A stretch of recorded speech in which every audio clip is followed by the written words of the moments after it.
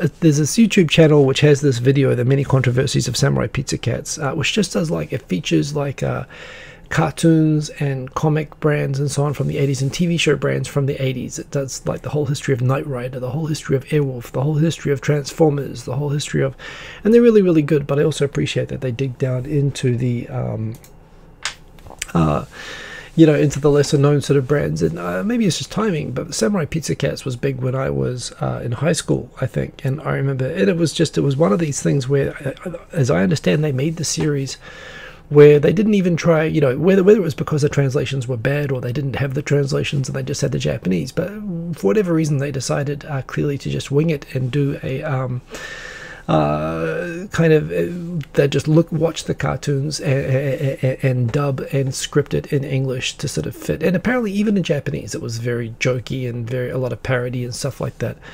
Um, and uh, yeah, the humor in it was just really, really good. Had a really great theme song that I still remember all the words to that I'm not going to say.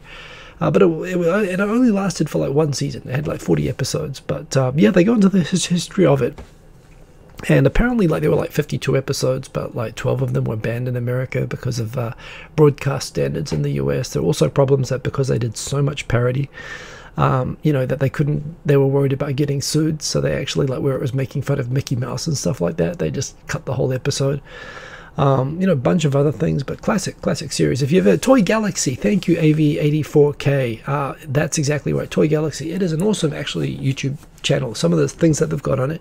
I was a TV addicted child. I was raised by TV. I, I moved house every year growing up, and uh, you know, I, I, would just like memorize the TV guide, whatever new place, which is often a new country. I'm bouncing around between Australia and New Zealand uh, and Singapore, I guess.